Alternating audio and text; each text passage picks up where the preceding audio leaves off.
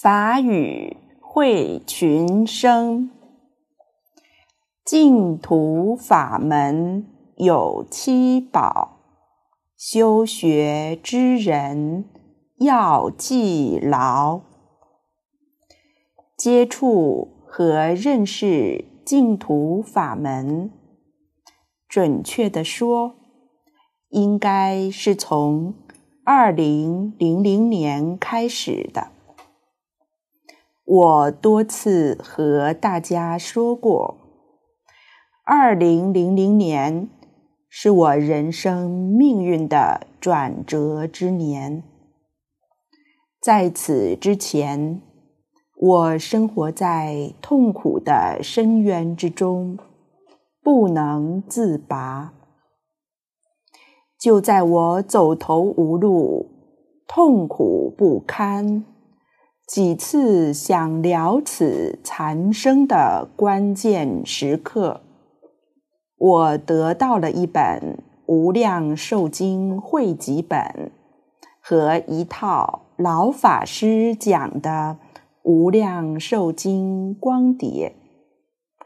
就是从那个时候起，我接触和认识了净土法门。从此，我人生命运来了个大大的转折。这个大转折可以用“不可思议”这四个字来形容。这个转折使我体悟到了人生还有另外一种活法。这一种活法。是那么的自在，那么的快乐。这就是十五年来我修学净土法门得到的真实智慧和真实利益。我修学净土法门十五年，我得救了。我不能自私自利。我知道。还有无量无边的苦难众生在受苦受难，他们都是我至亲至爱的亲人，他们和我是一体。我得救了，不能忘了还在受苦受难的众生，我要向佛菩萨学习。发大菩提心，帮助众生破迷开悟，离苦得乐。怎样帮助众生呢？我是修学净土法门得救的，我要把救我出苦海的净土法门介绍给一切有缘众生。让这些有缘众生通过修学净土法门，开真实智慧，得真实利益。这就是我写这篇分享报告的初衷。我今天分享的题目是：净土法门有七宝，修学之人要记牢。这里所说的七宝，是我十五年修学净土法门的高度概括和总结，在这里供养给同修们，愿我们切磋与共勉。净土法门第一宝《无量寿经汇集本》，《无量寿经汇集本》。是我们修学净土法门的教科书，而且是终身必读的教科书。这是我们净土法门的第一宝。上净下空老法师在为《静修结要报恩坛》一书写的序文里，开头有这样一段话：“净土法门。”乃一成了义，三根普被，横超三界，尽登四土，即圆即顿之不可思议法门。印光大师所谓“究竟唱佛本怀之法也”，高超一切禅教律，统摄一切禅教律，而其中之无量寿经者，乃净土法门之总纲。净土群经之首要，其重要性不言而喻。这一段话可以说是对净土法门和无量寿经的最高评价。这个评价可以用简洁、明了、透彻、一语中的来形容。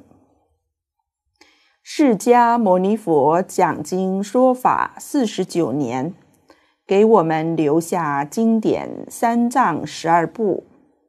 在这浩如烟海的经典中，世尊多次宣讲的唯有这一部《无量寿经》。除此之外，找不出第二部多次宣讲的经典。之所以多次宣讲，显示出这个法门的重要，显示出这部经的重要，特别是末法时期，一切众生在一生当中能得度，可以说就是这个法门这部经。下莲居老居士乃佛菩萨再来，来到娑婆世界。救度末法时期苦难众生，用什么救度？就是这一本《无量寿经》汇集本。下莲居老居士汇集《无量寿经》汉、魏、吴、唐、宋五种原译本，广结精要，圆摄众妙。铸成金经，现推为无量寿经之善本也。谁推的？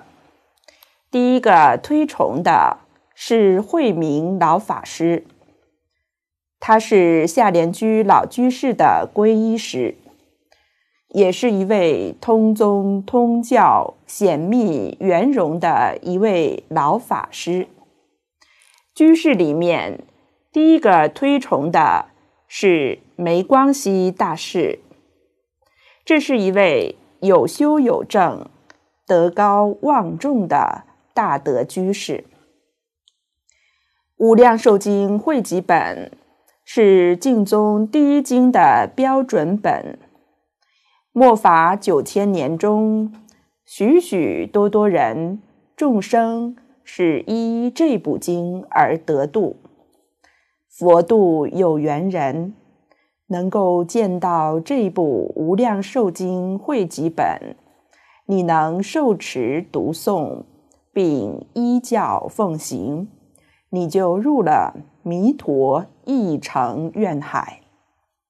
一成是成佛，不是菩萨，不是二成、三成。二成是大成、小成。三成是声闻缘觉，一成是成佛。你入了弥陀的一成愿海，你今生成佛的机缘成熟了。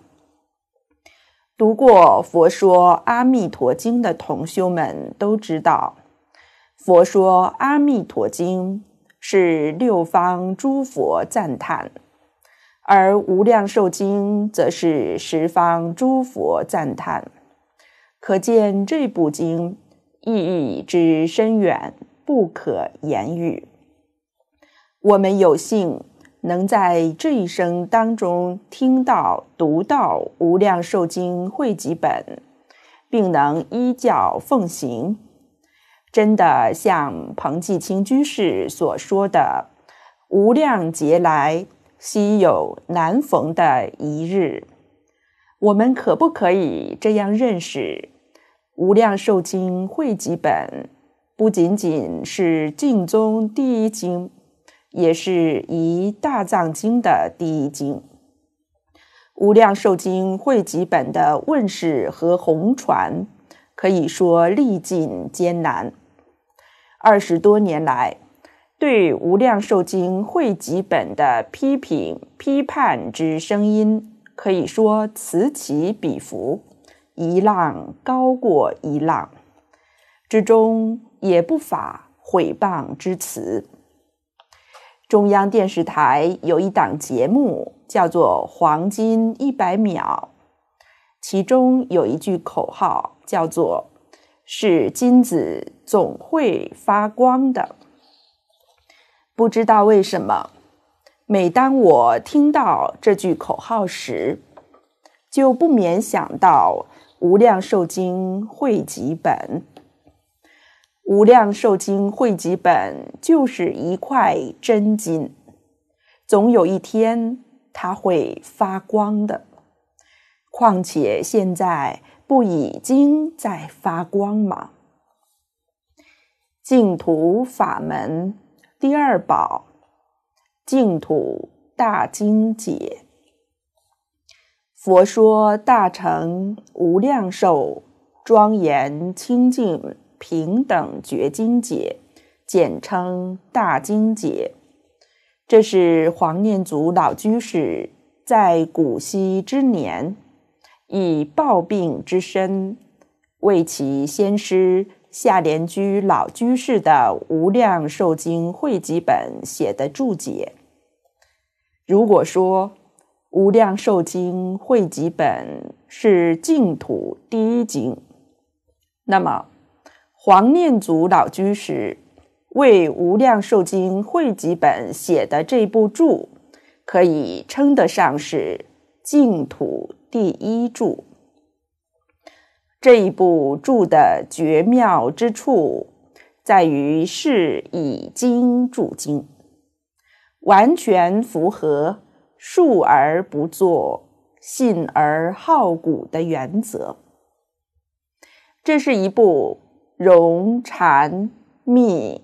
静为一体的精美绝伦的绝世之著。说到黄念祖老居士为《无量寿经》写注解的因缘，更是让人钦佩不已。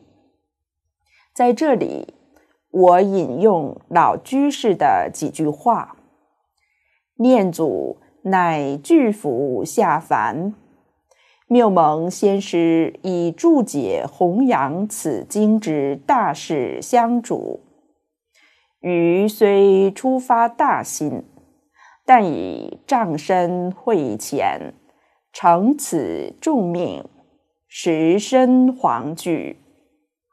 所幸曾参先师讲习，亲闻此经全部，且于。念载随事之中，得灵禅静密各宗玄奥，粗小先师汇集大经之身心。老居士的这些话，我曾经反复读过多遍，每读一次，都让我感到心灵的震撼。老居士每句话里的字里行间，无不透出发自内心的谦虚，让我们这些后辈读后深感汗颜。想想我们生活上、工作上、学习上，特别是在学佛的道路上。哪怕有了那么一点点的进步，就会沾沾自喜，甚至得意忘形。看看老居士，一个通宗通教、显密圆融的佛门大德，却如此谦虚，怎能不令人肃然起敬？老居士尊施主，主大经，功德无量。无量寿经汇集本出来了，非常需要注解，因为如果没有注解，经里面有很深的奥义，初学者不容易看得出来。有了这个注解，为我们学习这部经、了解这部经的奥义，提供了极大的方便。和帮助，老居士能够为这部经写注，可见其学佛功底之深厚。他跟随恩师下莲居老居士二十年，二十年没有离开老师身边，天天听老师讲经说法。才能够奠定他如此深厚的学佛功底。老师对学生当然了解，学生有没有智慧，有没有德能，有没有慈悲心，能不能担起这个使命，老师心里最清楚。所以，老师选中了这个学生来为大经写注，因为老师知道他有这样的智慧，有这样的能力，有这样的德能，有这样的慈悲，一定能把为大经写注这件事儿做圆满。老居士没有辜负恩师的厚望。古稀之年，暴病在身，环境恶劣。大家知道，在那个历史的特殊年代，老居士受到了严重冲击，被批、被斗，被戴上写有。牛鬼蛇神的高帽子游街示众，就在这样恶劣的环境下，老居士想的不是个人安危，而是愧深恩之未报，惧无常之将至。老师交代的使命尚未完成。怎么能对得起老师？老居士害怕寿命不够，完不成为大经写注的工作。他常常想的是这个，于是奋老病之残身，继传灯之弘誓，奋笔疾书，闭门谢客。全力著书，终于为我们留下了这部流传千古的大经解。今天，每当我们手捧大经解，是否感受到了它的厚重？感受到了它的不可思议？感受到了它的无价，能不能让我们对老居士的那种崇敬之心、感恩之心油然而生？所以我说，净土大经解是净土法门的第二宝，是当之无愧的。净土法门第三宝，净土大经科注。二零一零年四月五日，时值清明节，上净下空老法师放下已经讲了四千多小时的《华严经》，开始起讲净土大经解演义。演绎之后，开始宣讲净土大经科注，到目前为止，已经是第四回宣讲净土大经科注了。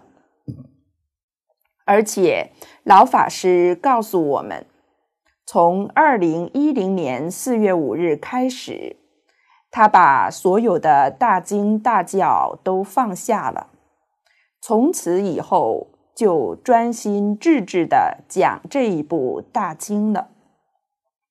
我们是不是该从这里悟到点什么？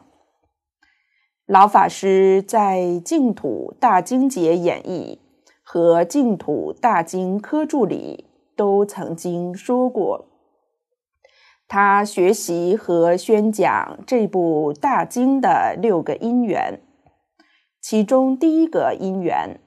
是莲社受经，就是李炳南老师将带有他做了媒注的下莲居老居士的无量寿经汇集本，亲手交给了老法师，这就是师传吧。这是老法师接触学习。乃至现在红船这部大经的第一个缘，而最近的一个因缘是，老法师看到世界乱了，灾难频繁，众生苦不堪言，于是老法师放下华严经，专修专弘无量寿经汇集本。专讲黄念祖老居士的大经集注，一心求生净土，亲近阿弥陀佛，以期将这个功德回向法界众生，化解灾难。到目前为止，大经科注已经是第四次宣讲了。在国内外，乃至整个虚空法界，引起了强烈震撼。它的深远意义不可测及，将流传千古，教诲和指引末法九千年的苦难众生破迷开悟，离苦得乐，脱离六道轮回。脱离十法界，回归常寂光土。老法师教诲我们：专修专弘无量寿经汇集本和净土大经科注，一定要牢记和遵循念佛三要：第一，不怀疑；第二，不夹杂；第三。不间断，这三句话说起来容易，做起来真的很难。但是非做不可。不怀疑，必须对这部经有深刻的理解。这部经、这部注帮助我们断疑生信。怎样才能对这部注有深刻的理解？方法就是读书千遍，其义自现。我们要坚定不移地相信，这部经、这部注，决定能够救世尊末法九千年的众生。只有这个法门，往生就得度。修学其他任何法门。都要断烦恼，都要消业障。断烦恼、消业障，不是一般人能做得到的。能做到的人太少太少了。我们要选择一条稳稳当当的道路，决定能够走得通的，能一生成就的，就是这部经。这一部注，千万千万别错过呀！净土大经科注是净土法门的第三宝，你相信吗？净土法门第四宝，来佛三圣永思集。来佛三圣永思集是净宗一代宗师上净下空老法师赞叹推荐给我们的佛门榜样。上净下空老法师告诉我们，海贤老和尚给我们做出了修行人的最好榜样。他一生老实专念一句佛号。没有涉猎其他法门，他成就了，而且是大成就，是大彻大悟、明心见性的大成就。他靠什么成就的？就靠这一句阿弥陀佛佛号。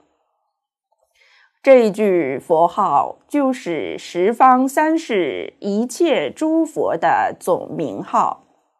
念阿弥陀佛，就是念十方三世一切诸佛，一切诸佛所说的一切经教，全在这一句佛号中。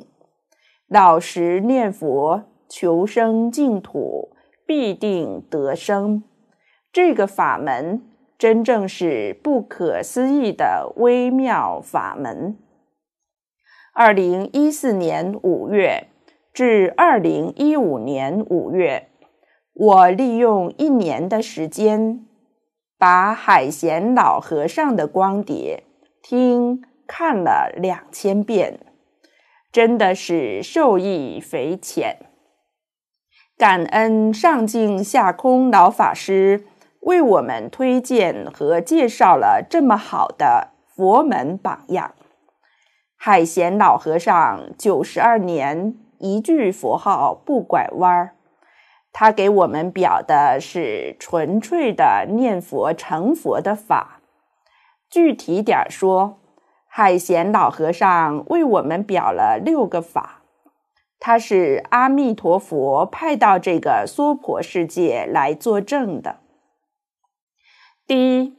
为下莲居老居士的《无量寿经》汇集本作证，证明这部经是真经，是净土法门的第一经，也是大藏经的第一经。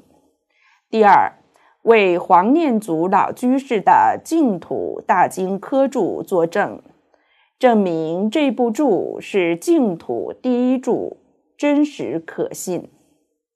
第三。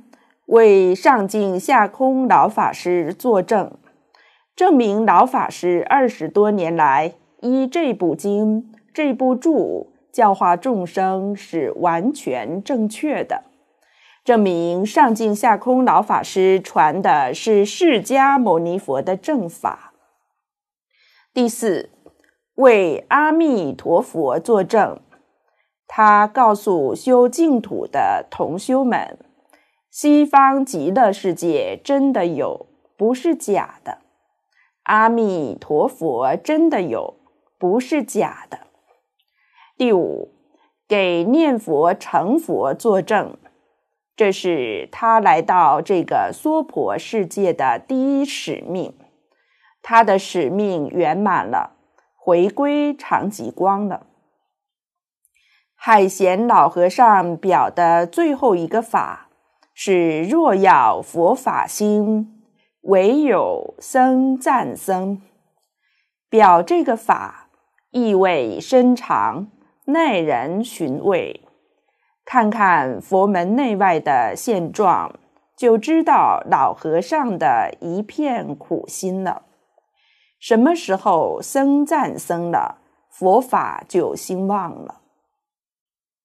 学佛就是要找到一条解脱之路，现在路就在我们眼前，榜样也在我们眼前，就看你作何选择了。有的人因缘成熟了，坚定不移的以海贤老和尚、来佛三圣为榜样，选择这一条解脱之路，他今生就成就了。有的人因缘未完全成熟，还在徘徊不决，那这个机会就有擦肩而过了，真的是好可惜。有的人没有缘。还在谤佛、谤法、谤僧，还在造作罪业，那就继续在六道轮回吧。真的是可怜悯者。上面我谈到了净土法门的前四宝，我在这里用一段话，先把这四宝概括一下。连念净海四圣贤，四人皆为大经来。弥陀愿海传灯人，个人使命担在肩。连公十载会真经，三个真实普贤行。念老六载作集注，慈舟普渡救群生，净空恩师传正法，堪学世家第一人。海贤和尚作正转，一生念佛。不拐弯儿，都是弥陀好弟子，都是菩萨世间现。睁开慧眼看一看，多少菩萨在表法，多少菩萨世间现。菩萨表法为哪般？为救众生离苦难。但愿众生早醒悟，快上弥陀大法船。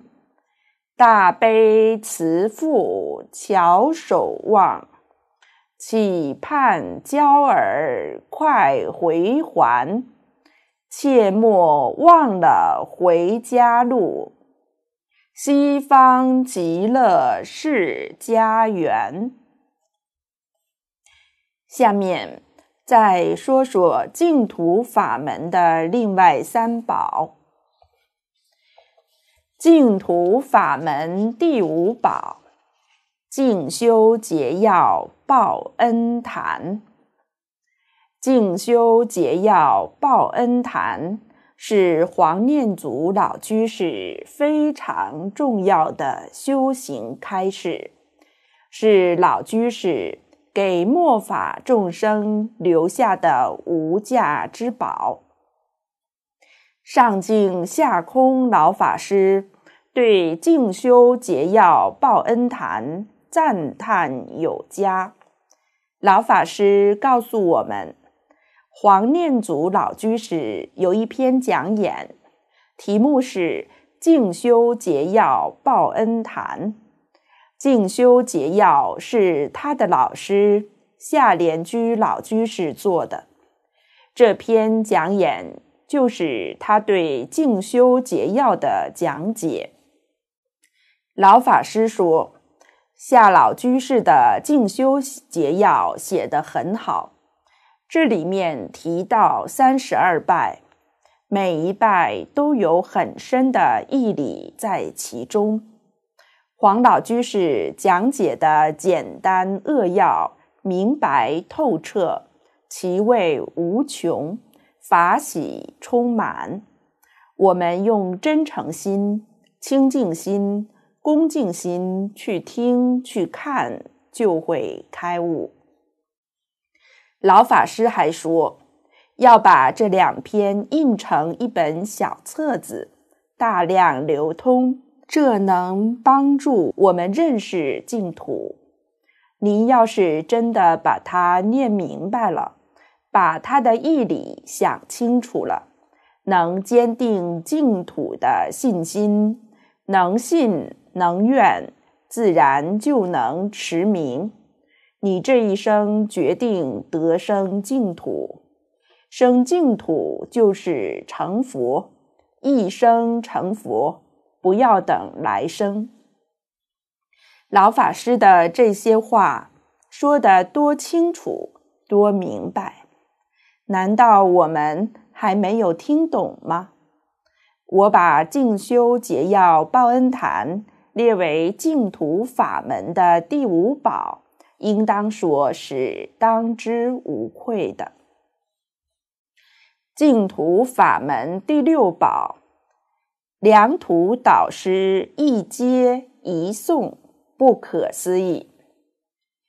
姐姐往生前，我知道念佛人往生西方极乐世界，阿弥陀佛前来接引，但我不知道释迦牟尼佛送这个事情。记得姐姐往生前。大概十几天吧。有一天，我和姐姐通电话，电话里姐姐对我说：“小云呐，我往生时两个慈父一接一送。”我当时有点懵，随口问了一句：“哪两个慈父？”姐姐说。良土导师啊，就是西方极乐世界的阿弥陀佛接，娑婆世界的释迦牟尼佛送啊。听了姐姐说的话，我一时无语，因为我这是头一回听说这样的事情。听了就是听了，我也没把这事儿放在心上。姐姐往生，良土导师一接一送，真的得到了验证，这可让我吃惊不小，太神奇了，太不可思议了。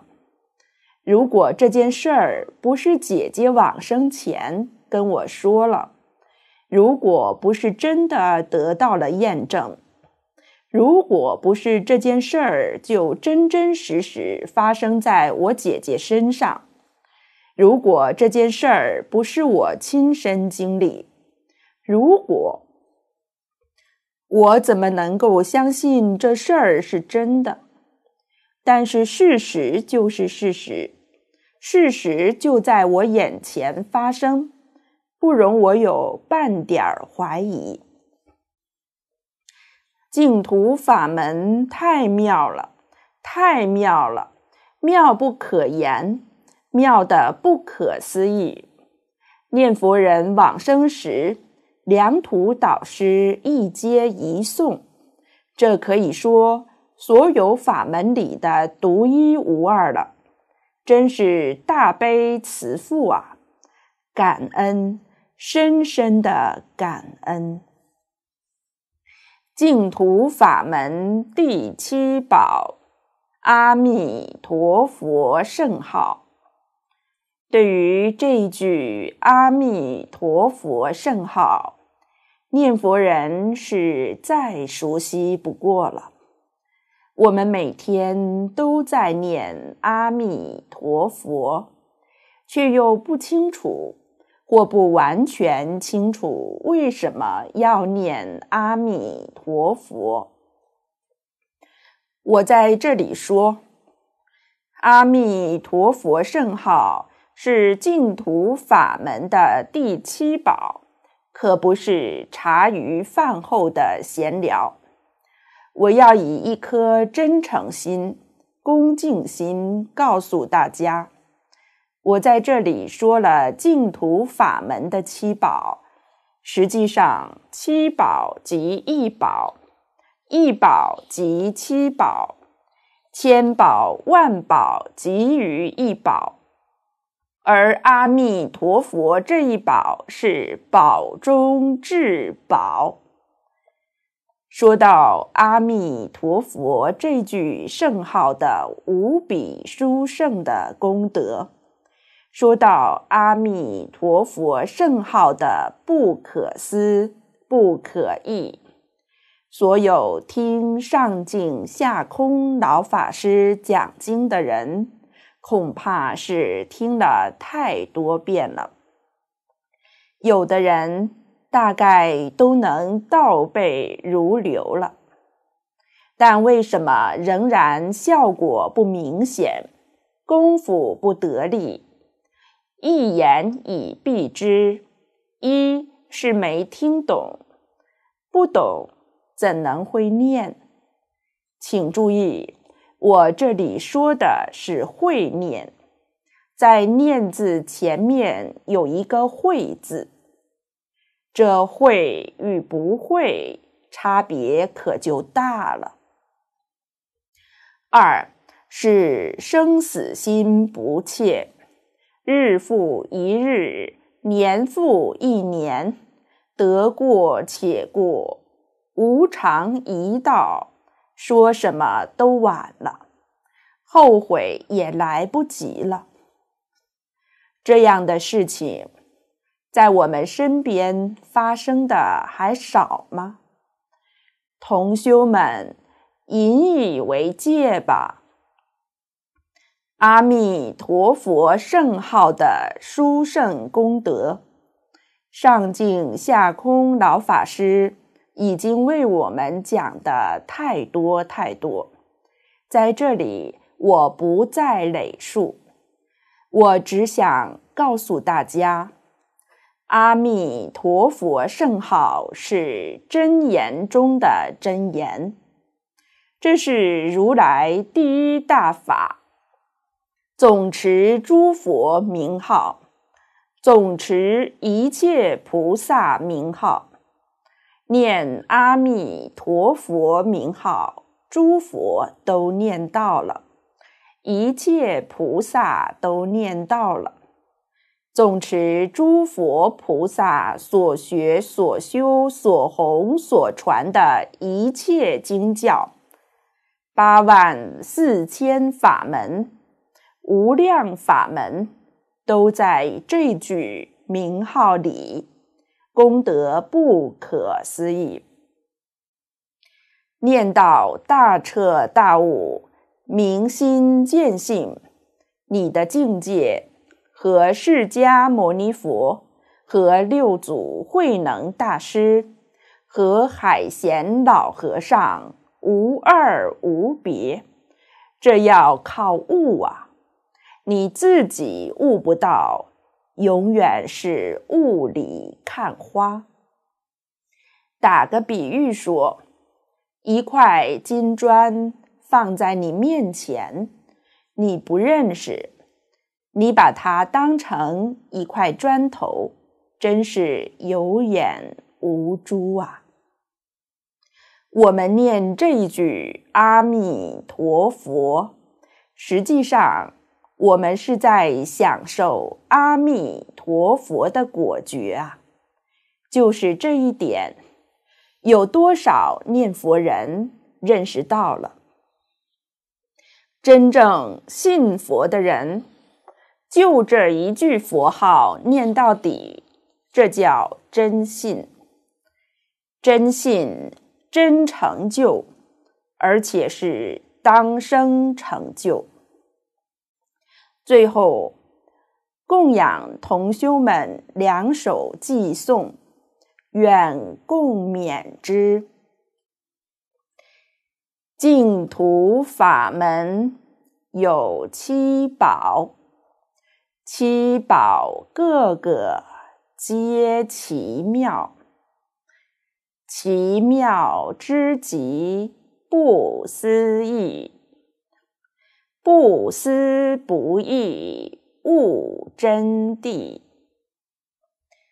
人在宝山走一遭，满山珍宝任你挑。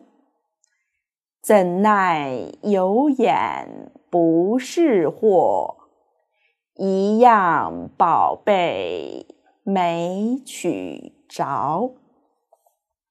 惭愧弟子刘素云顶礼。二零一五年十一月十四日，愿以此篇分享报告，纪念姐姐刘素清居士往生三周年。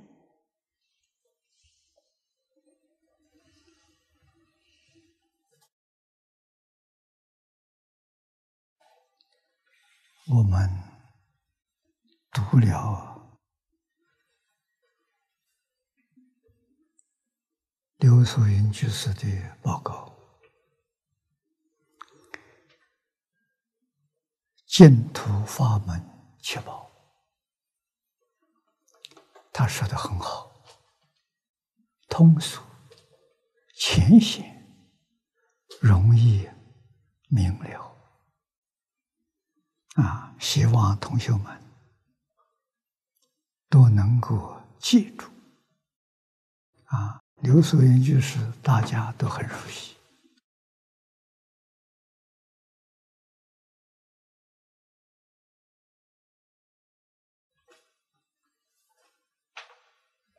他修行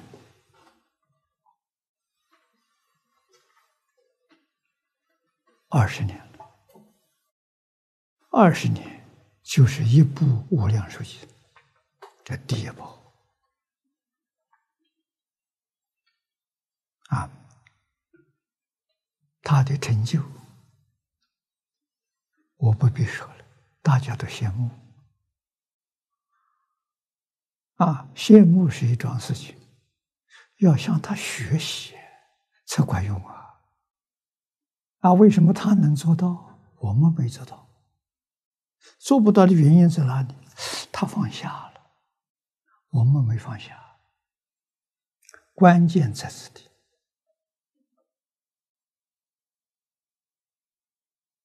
事出世间法没有例外的，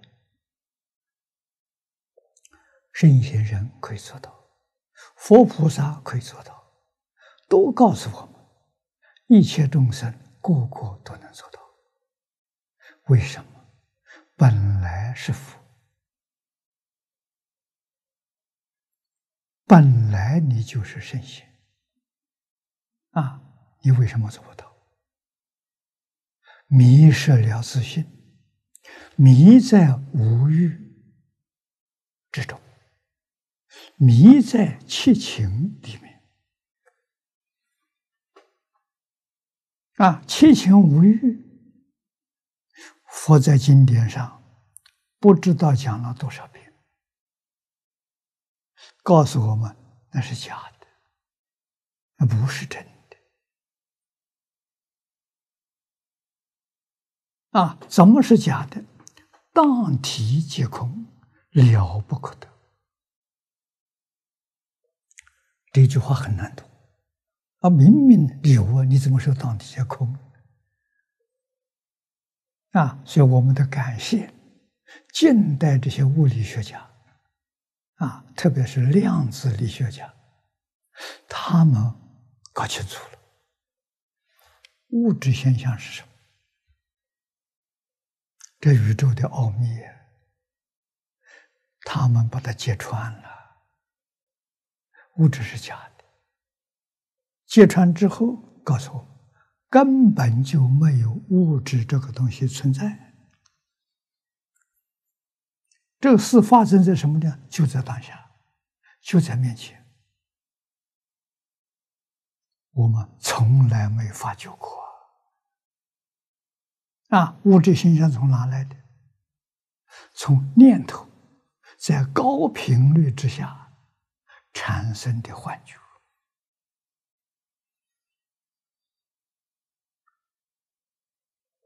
我们今天看到的这个现象，确实就像我们看电视，就像我们做梦，梦中的境界，电视屏幕上境界。啊！但是屏幕我们能看到是真假，它的频率不够高。啊，现在的电视画面频率是百分之一秒，也就是一秒钟生灭一百次，这个频率。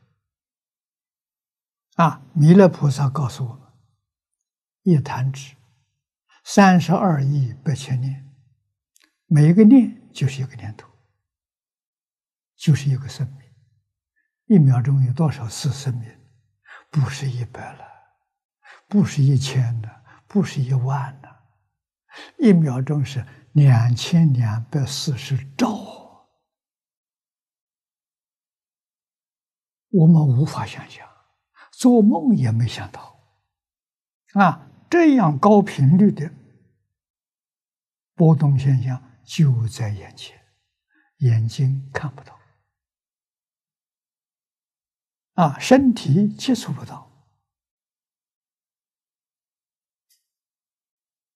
难得量子力学家在近代二十年才把它揭开了。啊，这桩事情搞清楚、搞明白了，我们看到报告，回头再看佛经，感谢科学家帮助我们，终于了解了。啊，那我们的了解跟科学家一样，听到他们一样的了解，不得受用。啊，谁得受用呢？佛菩萨得受用，阿罗汉得受用。为什么他能受用？他是自己看到。用什么去看到的？不是肉眼。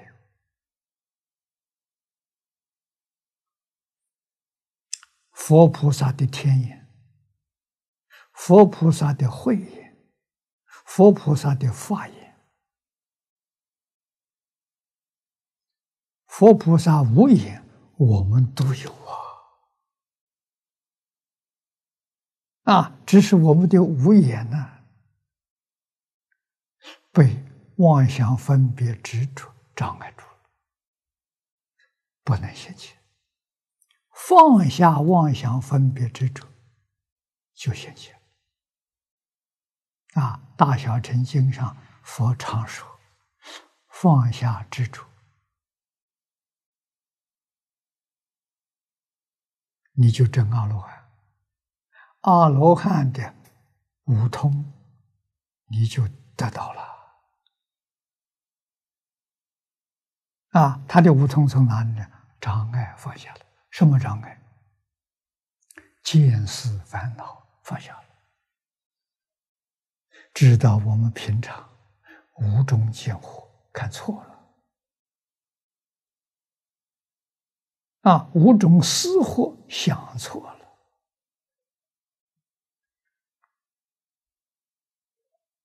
啊，产生错觉。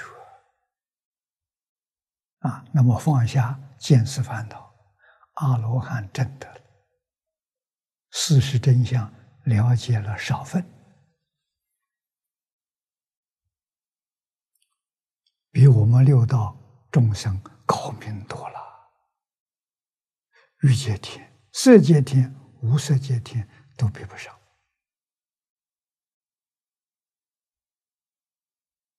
啊，放下五种见惑。身见、边见、见取见、戒取见、邪见，两种神通恢复了，天眼、天耳，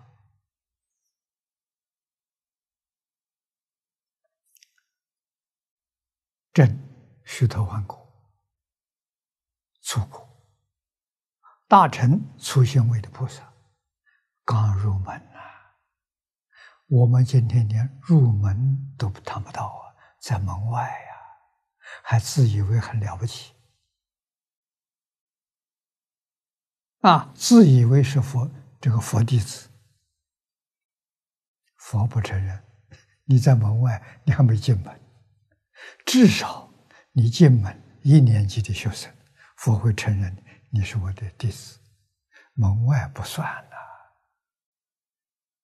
啊，光拿三规证书没有用处，那个没效啊！啊，要真有功夫，那个戒碟才有效，规正才有效。自己没有到那个，那是假的，没效。要知道，事出世间一切法，世间圣贤，出世间的佛菩萨，通通要讲求。张家大师头一天告诉我的：看破放下。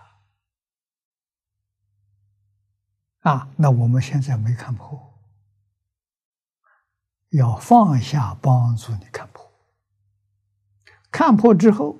看破又帮助你再放下，从初发心到如来地，啊，就是看破放下，看破放下。这张家大师教给我，啊，初入佛门什么也不懂，啊，佛学的术语他不说，他用这么浅显的话告诉我，就是。佛教大乘佛教讲的止观，止是放下，观是看破，止帮助观，观帮助止。啊，确实从初发心到如来地，没有止观，止观是修行的。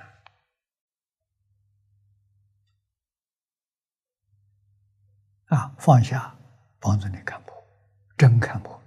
现在我们听说。还放不下，听得不够透彻，听了之后半信半疑，不是真的。啊，真正听懂了是假的，还放在心上干什么？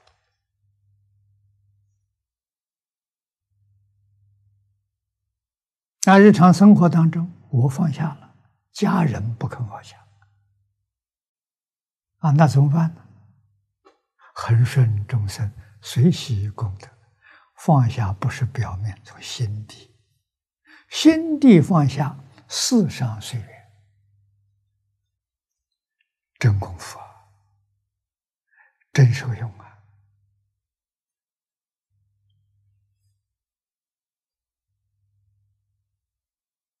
啊，修净土法门特别重要。心上只放阿弥陀佛，阿弥陀佛之外，统统放下，绝对不要往心上放我们往生才有把握。啊，心里头还有妄想，还有杂念，这个把功夫全破坏了。啊，所以要有。很高的警觉性啊！那么刘素云提到了生死心不起，一定要。那么你们每天看新闻，看全世界灾难，提高警觉！不定我们会遇到，不定就在先前啊！随时我们这个命可以丢掉。你还想什么？啊，舍命不怕，舍命到哪里去？这个问题可大了。有人三途去了，地狱去了；有人又到人间来了。啊，有人升天了。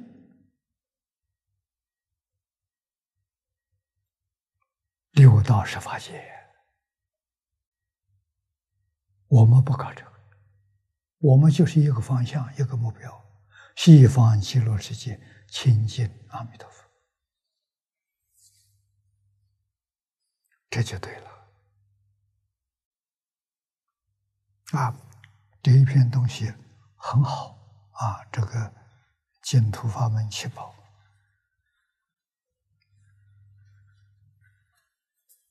啊，我觉得这个也能够把它放在。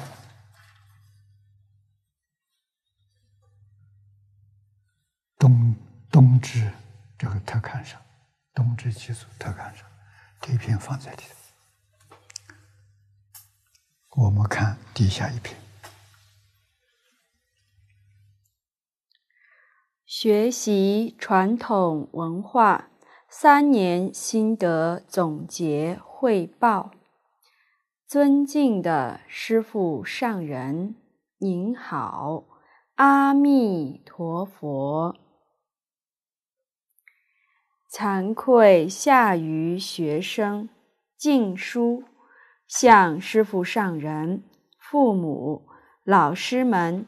及所有国内外的同学汇报自己学习传统文化三年来粗浅的心得体会。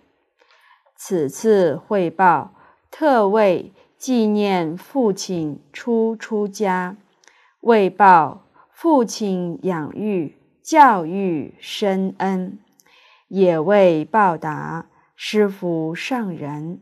慈悲教育所写，惭愧学生敬书，今年二十三周岁，来自辽宁省大连市。二零一二年二月份，遵从父亲的教导，毅然放弃了美国纽约州伦斯勒。理工学院的学业，回家跟随父亲学习中华传统文化。二零一三年开始，先后跟随两位老师在寺院道场及传统文化团体中修学，在此过程中。逐渐反省到自身诸多不良习气，并努力对治。三年中一路走来，从不接受传统文化，到发心一生立志学习并弘扬传统文化，学生心中感触很深。甲昔有因缘，信闻正法。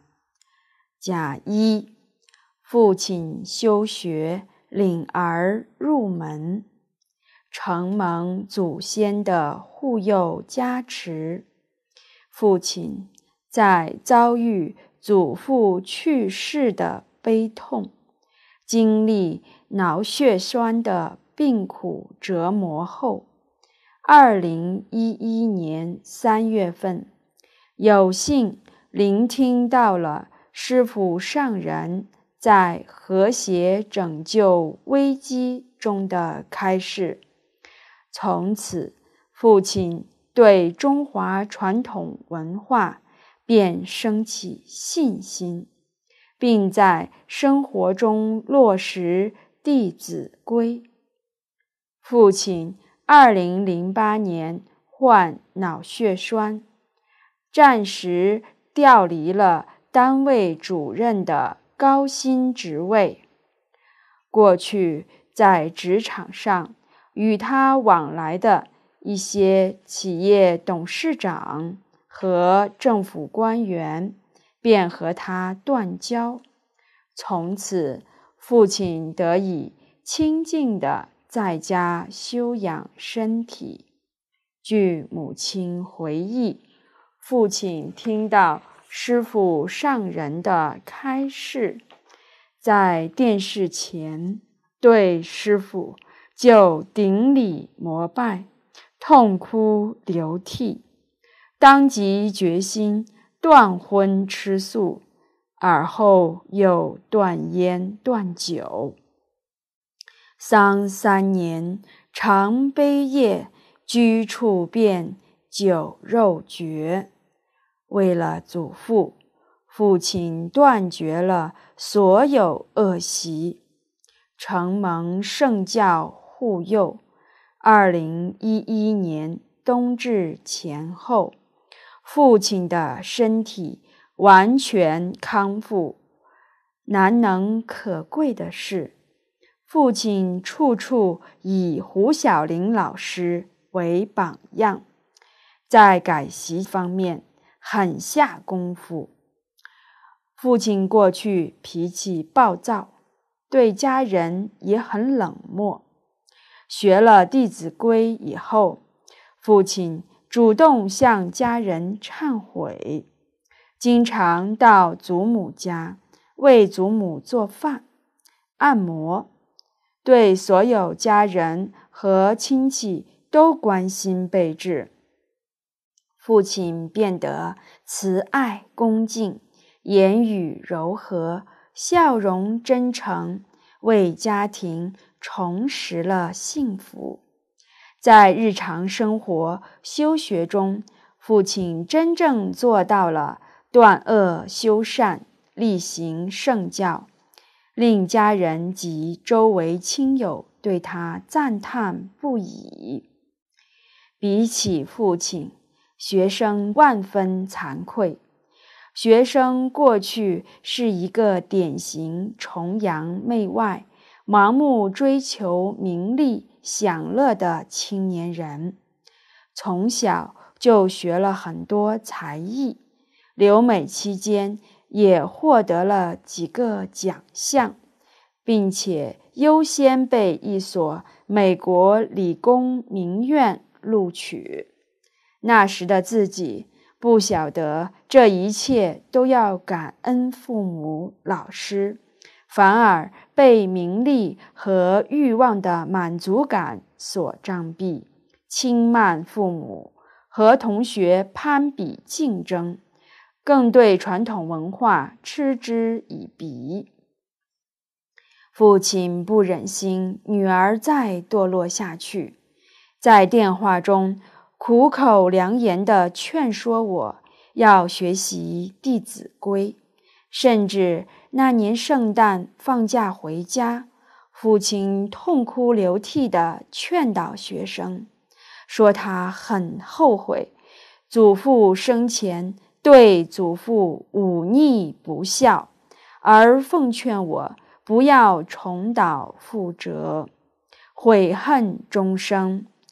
学生一念良知被父亲唤醒，遂放弃学业，成就了回家和父亲共同修学的因缘。父亲的老实真干令我敬佩，而后学生才愿意接受传统文化。正如《论语》中夫子有言：“其身正，不令而行。”其身不正，虽令不从。教育就是上所施，下所效。父为君，子为臣。一家之君做出榜样，儿女必然起而效法。甲二，名师指点，断以起信。学生根性拙劣，当时不能像父亲一样完全相信师父上人的教导。但是，当听到师父上人讲，英国著名历史学家汤恩比教授曾经在《展望二十一世纪》中发表过一句至理名言。要解决二十一世纪社会问题，只有孔孟学说和大乘佛法。师父上人的开示也被实际验证了。二零一二年夏天，哈佛大学商学院的一位美籍教授再次来家乡拜访父亲时，他困惑地说：“现在。”美国大学教育出现了很多问题，例如，他发现学校传授的学术理论是不能解决也避免不了金融危机的。他认为，现阶段企业管理和社会各个阶层更需要的是伦理道德的教育。听了教授的话，学生很震惊，父亲点点头，表示很赞同他的话，随即赠送了他两本英文版的经典，一本《弟子规》，一本《了凡四训》。他很欢喜地带回了美国。从此，学生便放下英文教科书，开始学习中华文化。一来被父亲的转变所感动，惭愧自己的德行犹如祖先；二来惋惜自己作为中国人没有学习过传统文化。留学期间。作为学校学生会成员，没做好榜样，眼睁睁的看着中国留学生因缺少道德素质的作风，在学校被公开批评等等，学生遂直下承担，开始主动学习传统文化。随着修学进展，不断的。断疑生信。后来，父亲又带学生到大马文化教育中心参学做义工。二零一三年，学生以及家人在网络上全程聆听了师父上人、蔡老师及各界大德老师们在巴黎联合国。教科文总部的精彩演讲。同年，学生又跟随香港佛陀教育协会到斯里兰卡倾听师父上人讲经说法。师父上人的弘法足迹，足以证明全世界都急需传统文化的教育。他绝非迷信，而是古今中外最有智慧的教育思想，以断恶修善，知恩报恩；以一回归孝道，恢复家道。学生从初中开始就和父母产生了隔阂。高中留美后，更不愿主动和父母交谈。每当父母很牵挂我的生活状况，在电话中对我嘘寒问暖，给予我一些教导时，自己都很不耐烦，甚至在择校和择业的问题上，和父母在电话中争吵不断。不仅如此，后来连父母的电话都不想接。那时一心想留在美国生活，和父母断绝往来。蔡老师讲课时说道：“现在很多父母辛辛苦苦栽培孩子，甚至送到国外去留学，有些孩子一去就不回来了。”那真是父母会气得吐血。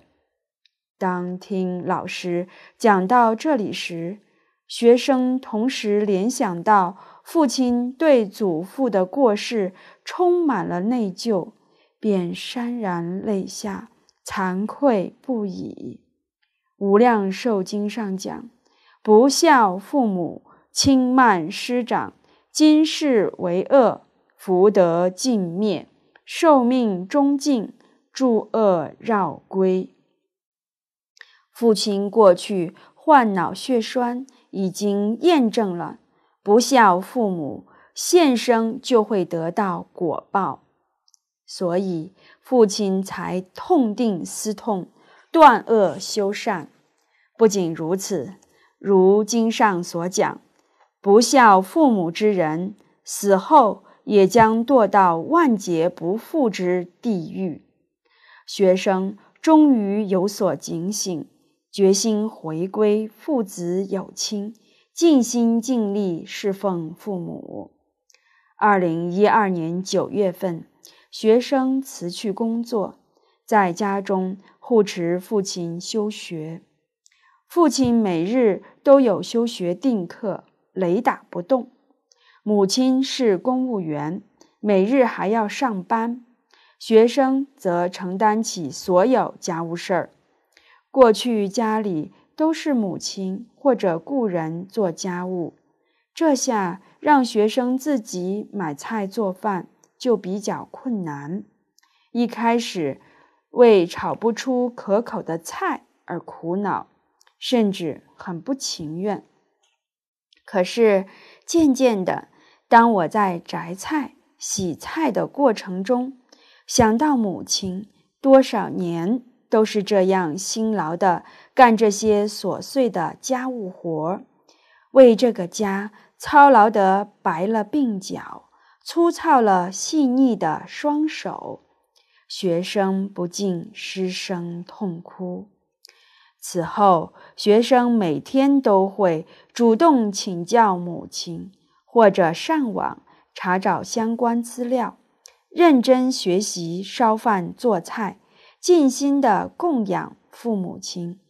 做了差不多一个月，终于做出了合乎父母口味的饭菜。吃素久了，父母只喜欢清淡的饭菜。此后，学生在家做饭，除非是亲友登门造访，平日给父母做饭都很少放调料。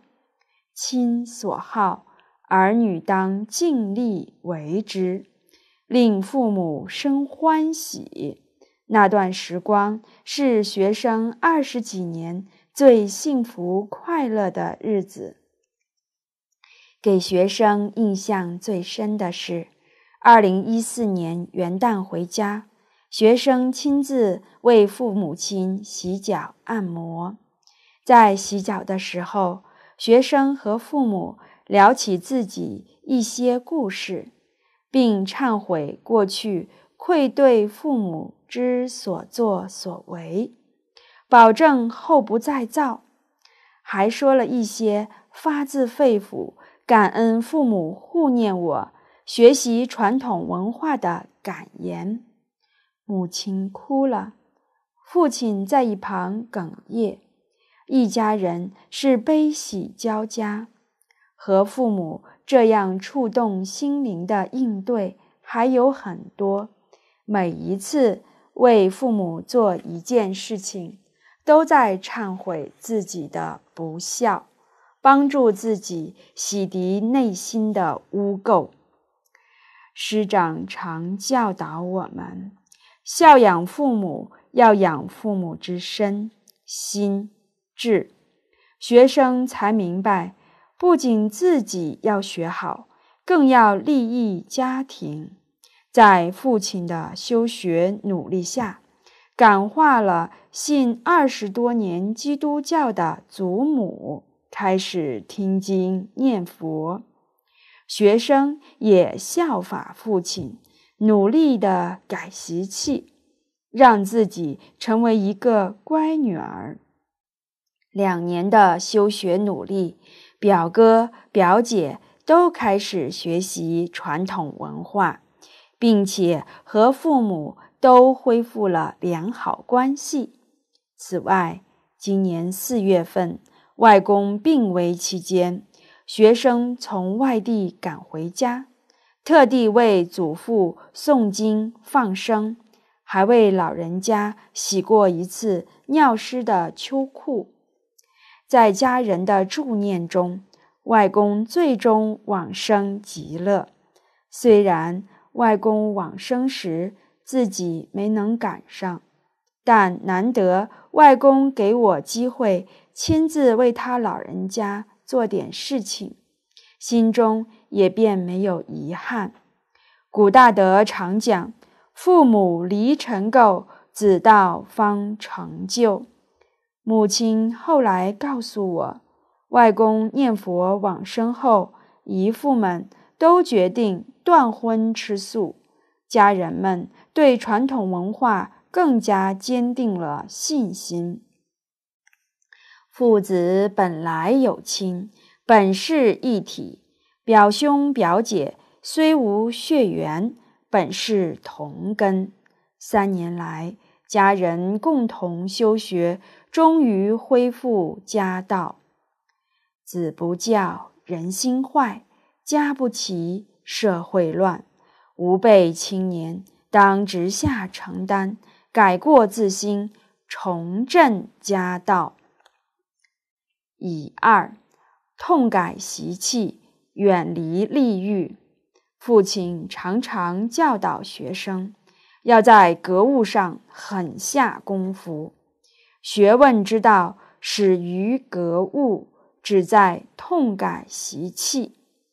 学生上小学时就沾染了乱花钱的奢侈习气，经常把零用钱用在看电影、打游戏。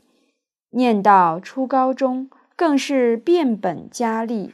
穿名牌运动服，用进口文具，用高级化妆品，买名贵时装等等。回国后，虽然学了传统文化，但奢侈习气依旧难以改掉。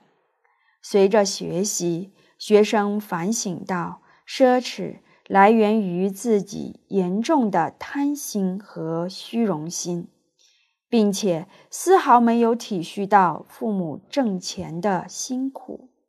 去年夏天，学生到杭州一寺院短期休学，每天上山采茶、挑茶叶，每天工作十几个小时，有时候要到半夜。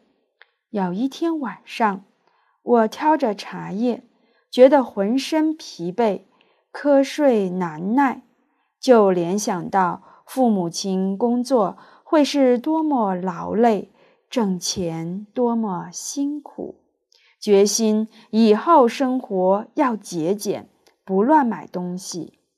训俭示康有言：“俭，德之共也；耻。”恶之大也。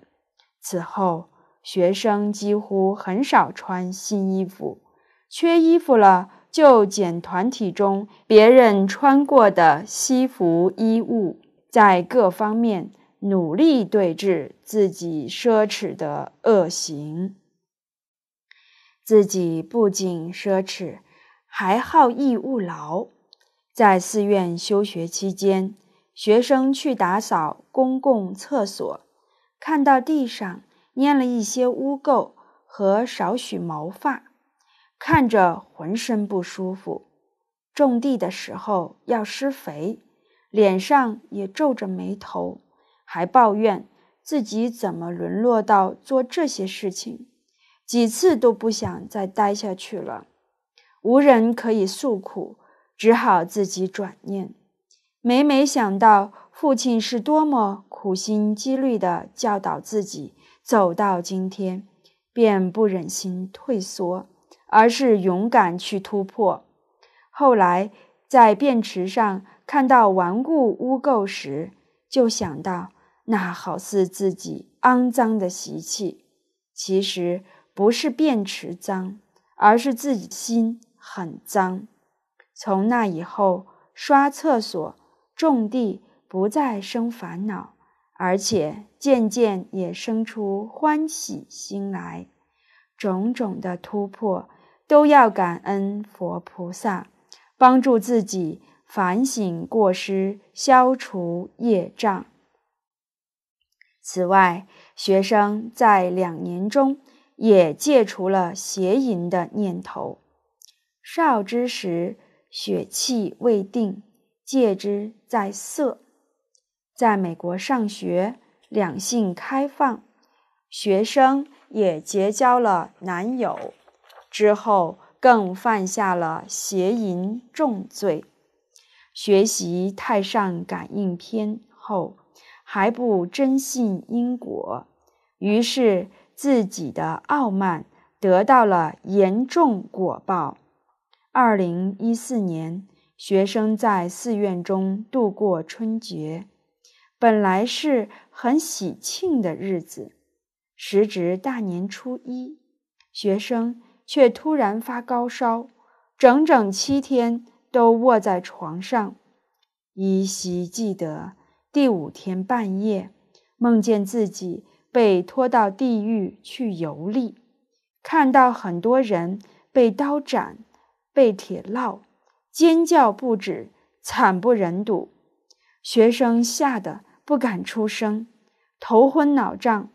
醒来后，回想《地藏经》中的经文，顿悟到自己是因犯下邪淫所遭此果报，就赶忙下床向佛菩萨磕头忏悔，并且发心布施印赠《寿康宝鉴》一书。学生真是愚痴到亲身经历惨痛果报，才相信。因果丝毫不爽，而后学生一方面自爱自重，保持威仪，和男学长保持距离，更断除结婚的念想。师父上人曾讲过，佛菩萨才是真正爱世人，阎浮提众生所谓之情，都是虚情假意。学生坚信这一点，佛菩萨是真慈悲，是真正爱护我们的。所以，学生以此劝勉大家，特别是女子，一定要放下情执，万万不可掉以轻心，要端正行仪，端正心念。种种的习气，都是在提醒自己。要努力精进，修学就是看破放下，看破则是断恶修善，转迷为悟；放下乃是老实真干，持戒开慧。现在在学生心中，山珍海味比不上青菜豆腐，高级西点比不上白面馒头。子曰。是至于道，而耻恶衣恶食者，未足与义也。只有真正远离利欲，才有资格做学问。这是学生还在常常提醒自己的一句教诲。老师曾语重心长地教导学生：要想定下心来求学问。一定要先改习气。确确实实，三年来，学生得到一个最大的经验教训，就是习气改不掉，业障烦恼常常会使自己听经拜佛昏沉瞌睡，不能正常的学习。习气不改，背再多经典，只能增长所知障。增长自己傲慢习气，明白了这个道理，就不会走偏。所以学问一定要务本，从格物下手，并且相信自己，相信一切众生都是人之初，性本善。丙，坚定信愿，真诚发心。师父上人近几年一直都在感召有志弘扬群书制药的年轻人，十年深入复兴文化，拯救世界。学生遂发心自己做这样的人：一者为报父母生恩故；二者为报师长诲人不倦，广度有情，拯救全家故。三者为救度众生脱离苦海故，四者为往生净土故。回想二十多年的生活，回顾三年来的修学，学生发现荣华富贵都是过眼云烟。师长一生为我们做出了榜样，一生舍己为人，为正法，为众生。学生对比师长的发心，对比老师的发心，都觉得非常惭愧。这几年，偶尔也有过去的同学见到我，虽然现在自己穿着朴素，过着清静的生活，可是这几年自己的气质和容貌都有所改变。同学们都说，他们更喜欢我现在的样子，变得随和温柔。圣教真正会变化气质，这种变化是由内而外的。现在学生时常能体会到“学而时习之，不亦说乎”的乐趣，这是真正的乐趣。过去。吃喝享受的乐趣都是虚幻的。学生过去从小到大的同学，大部分都在世界顶尖大学读书。初一前排的同学是东京大学毕业的，同一年级的也有在英国剑桥毕业的，等等。大家的福报都很大。希望他们也能听闻圣教。现在他们都还在为自己的生计奔波，还没脱离社会名利的洪流。想到大家的苦难，自己就非常警觉，提起使命感，努力改习，坚定信愿，恒持初心。前一段时间。听闻师长准备在剑桥大学办班教学，学生真心希望在剑桥的中国学生都能参与进去。一旦世界名校兴起圣贤教诲，相信世界各地的学校都会有所响应。丁结语，三年来。学生做的远远不足，还在改进一些毛病习气。学生不会懈怠，深知累生累劫的习气很重，必须更加努力精进，才能保持得住。学生一定老实真干，争取做一部活的群书制药，将来回报母校，回报家乡。同时，自己又懂得英文，希望将来到全世界随缘弘法利生，圆满父母家人的心愿，和父亲一同演好父慈子孝、尊师重道。最后，感恩师父上人，感恩父母、老师以及所有学长们。在这三年中，对学生的教诲、护念和提息，恭祝大家身心安康、六十吉祥、道业精进、法喜充满。由于学生德薄学浅，就汇报这些，言语中有不如法之处，恭请师父上人。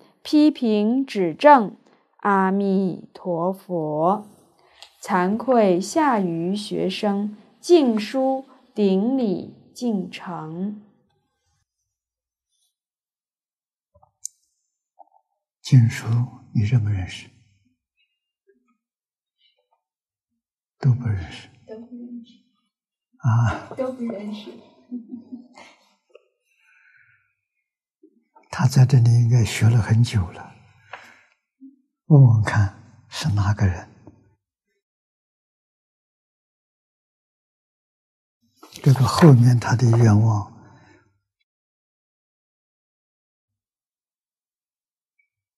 有更详细的资料，我们可以考虑。哎，这个。说的很有道理。传统文化在英国兴起了之后，会影响欧洲，会影响到全世界。这是一桩很值得做的大好事啊，真正有志年轻人啊，我们希望的条件，他应该都可以具足。啊，我们希望女同学都不结婚，啊，好好的学习，毕业之后留在学校当教授。啊，我们这一生完全做出奉献，给下一辈的人，希望下一辈子、下一辈人能成就。啊，这是很殊胜的德行愿望啊！真正有志一同，很好啊！打听一下，这是哪里的？后面还有没有？还有一篇，我看看，后面还有一份什嗯，对，就是师傅桌上这一哦。就是这个，对，好好好好。好。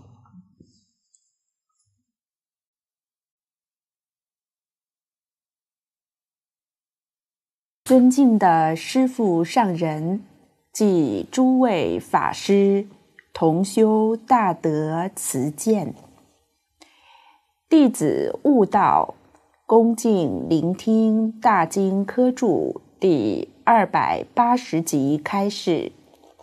师父讲到灌顶这一段经注的道理，师再度呼吁强调佛门讲经说法的重要。过去四百年前，佛教大小寺院庵堂都有法师、居士大德讲经教学。大概三百年前。以后，寺院庵堂讲经说法渐渐没落，经忏佛事起来了。寺院庵堂大多是做经忏佛事为主，讲经说法的人没有了，道场变成经忏道场，佛法衰微了。因此。当今最重要的是要培养讲经人才，有这个机会不能错过。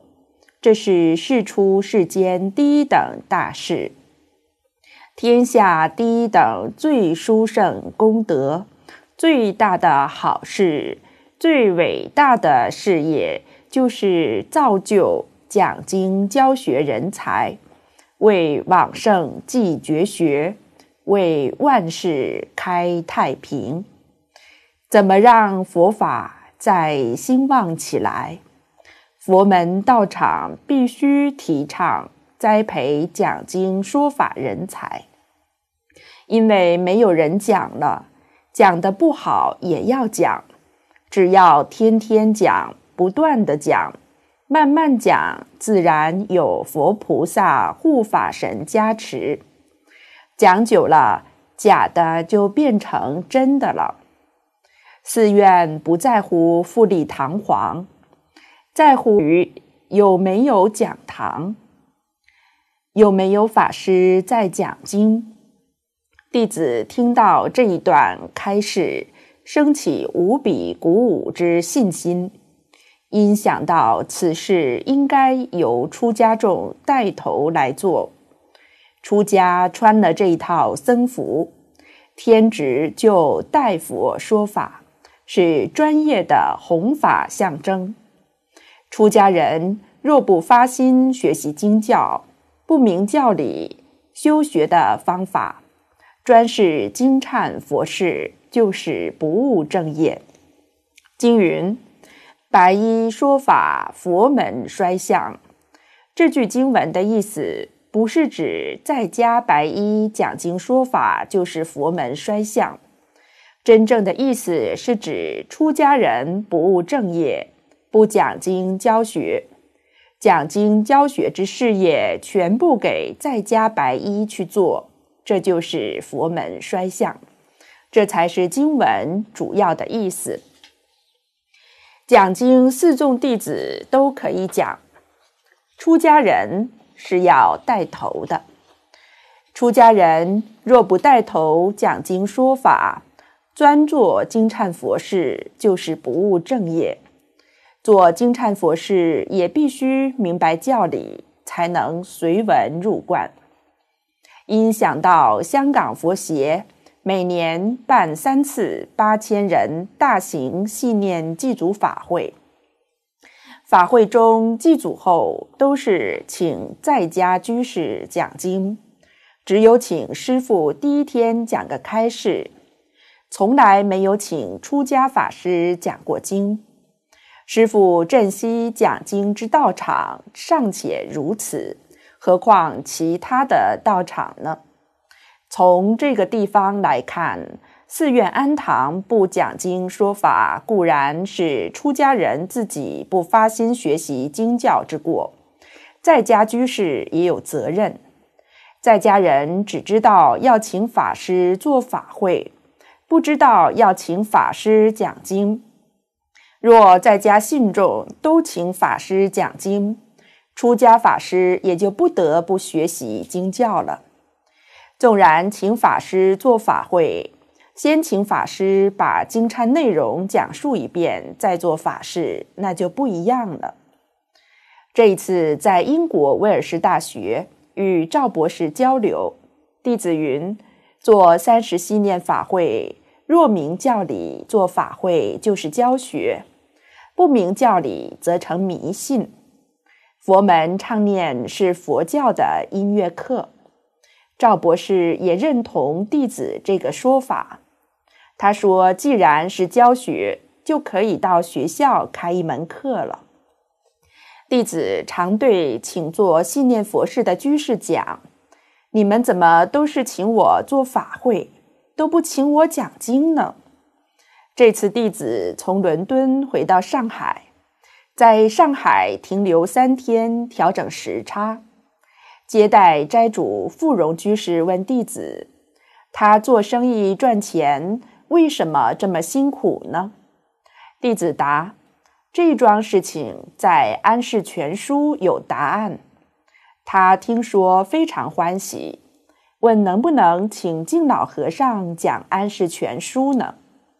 弟子答。师现在专讲大经科注，不讲其他的了。我也可以讲，为什么不请我讲呢？你要请敬老讲，要等到哪一年呢？富荣居士听弟子这么一说，就勉为其难的请弟子讲了。预定下个月香港法会圆满，往上海讲《安世全书》。今弟子有一请求。香港每年三次法会，不能只有安排居士讲经，请出家人做法会，这样会给人觉得出家人不务正业。下个月香港十二月冬至祭祖法会，弟子发心带领出家为挪月众法师做法会，祭祖后下午的时间，法师上台轮流讲经。恭请师傅是否可以慈悲授权给弟子来安排祭祖信念法会的讲师？出家法师有讲经做法会，出家人才不至于只做法会不习经教，给人感觉出家人不务正业，不良的形象都是在家白衣在说法。受经云：恭敬三宝。讲经说法应该让出家人优先，这样才是恭敬三宝佛弟子。弟子这个看法请求，不知道对不对、妥不妥、合不合情理，恳请师父上人慈悲开示辅正。恭祝慈安，弟子悟道顶礼，已为十月初六于台北华藏。悟道法师这一份奇情很难得，是正法啊！他终于在金蝉佛寺里头醒过来了。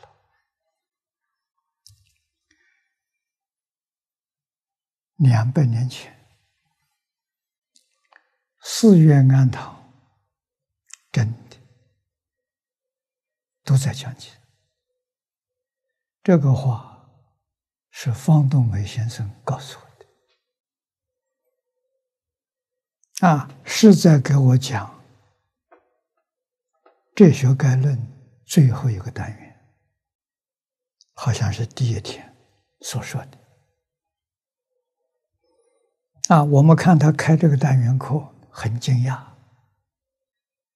啊，当时我们想到佛教。宗教是迷信，啊，佛教是低级宗教，多神教；高级宗教像基督教，你看只有一个神，就一个真神，没有第二个。佛教到寺庙去看，大大小小不知道有多少神，啊，所以叫泛神教、多神教，啊，给人家印象很不好。所以方老师在告诉我。他说：“你不知道，释迦牟尼，他没有说佛，他就说释迦牟尼是世界上最伟大的哲学家，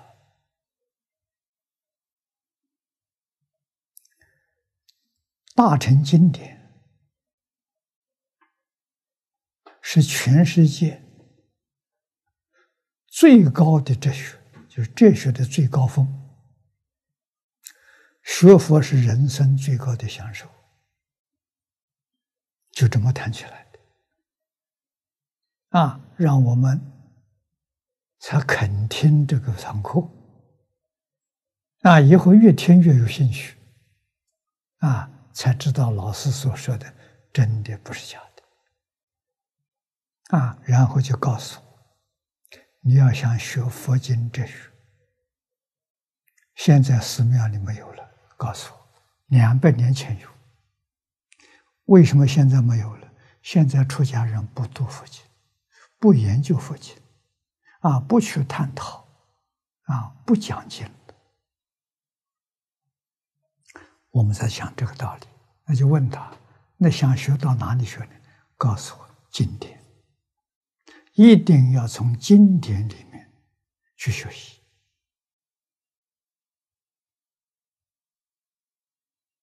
啊，指出一条路子，所以我们才知道有这么回事情啊。中国佛教变成金蝉佛寺，不会超过三百年，这三百年内的事情，以前没有，因为我们看到像清朝。康熙、乾隆，啊，乃至到嘉庆，佛教都非常兴旺，啊，讲经的法师很多，讲的很好的，著作很多，非常丰富，啊，那是真学问、真功夫，那不是假的，啊，可是到以后道光以后。道光以后就是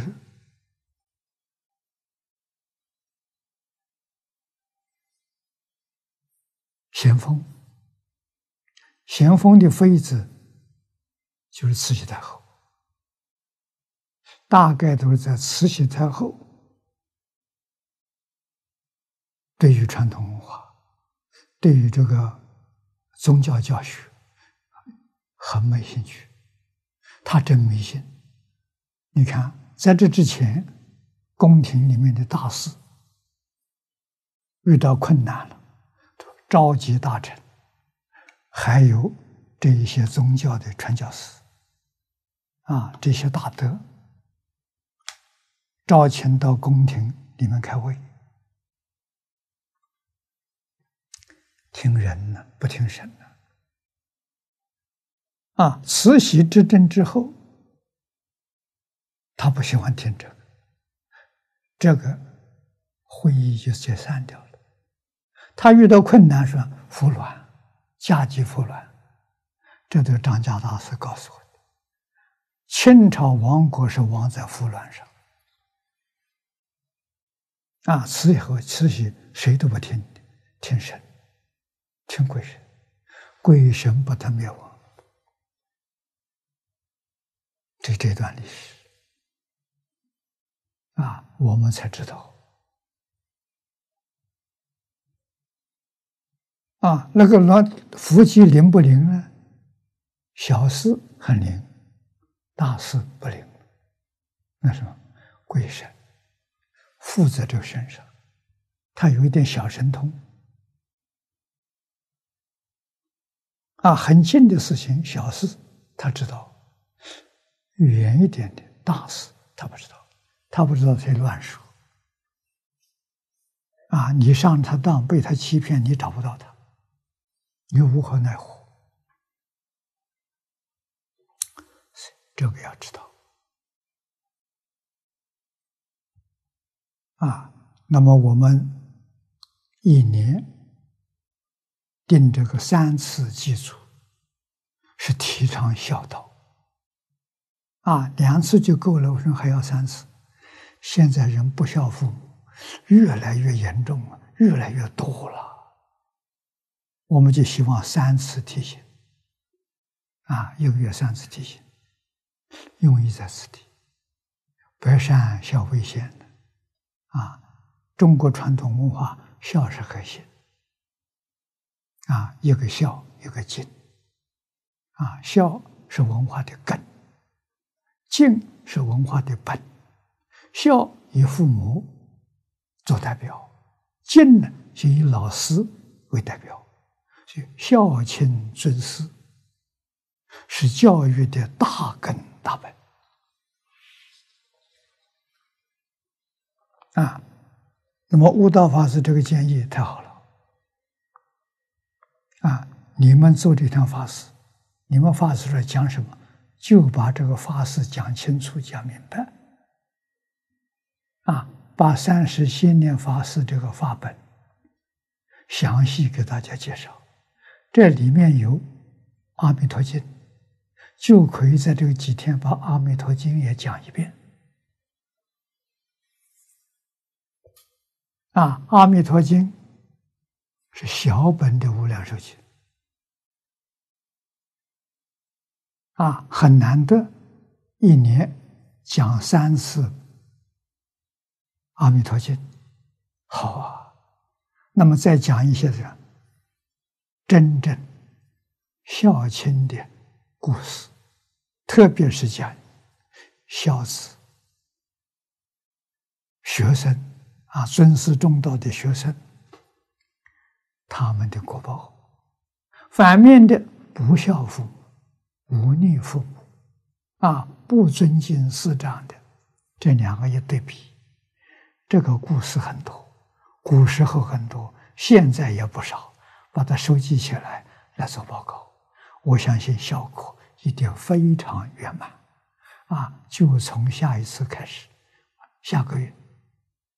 现在是十一月，十一月，好，从十二月我们这这一次活动开始，啊，希望到时做一个充分准备，啊，这个《弥陀经》有四个注解，